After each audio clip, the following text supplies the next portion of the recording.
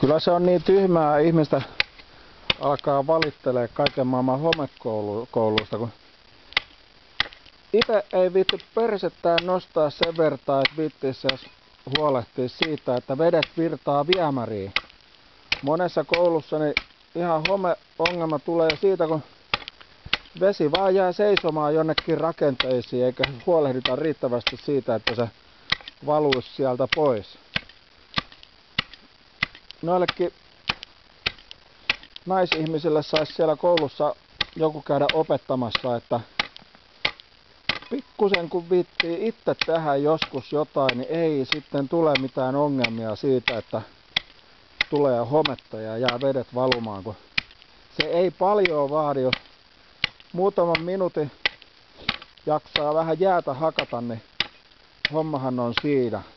Ja vedet virtaa pois pihoista ja ne ei jää sitten seisomaan. Sielläkin koulussa, niin eikö ne saa niitä koululaisia nyt sen vertaa tuota komennettu, että vähän hakkailisivat jäätä siellä pihassa pois ja kattelisivat, ettei sitä vettä jää valumaan ja seisomaan joka paikkaan, niin ei se luulisi niin hirveän vaikeeta olevan. Se on aika, aika harvassa, kun enää kukaan vittii mitään tehdä. Sitten jos jotain teet, niin yleensä mitä, mitä sä kuulet siitä sen jälkeen, niin on vaan pelkkää, pelkkää valitusta. Niinhän se yleensä menee, että ei siitä kiitosta montakaan kertaa saa.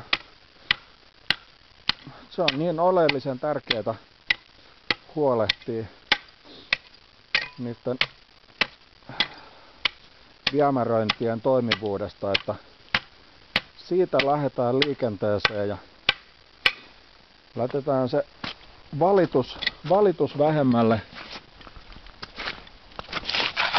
Hoidetaan viemäröintiasiat kuntoon ensin, kun lähdetään valittelemaan. Ne koulut varmasti, jossa talonmies vähän, vähän on nähnyt vaivaa, että pitänyt viemärit auki, niin tuskinpa niissä kouluissa enää mitään homeongelmaa on, mutta nyt kun kaikki kiinteistöjen kunnossapitokin niin on ulkoistettu, sitä hoitaa joku huoltoliike jossain,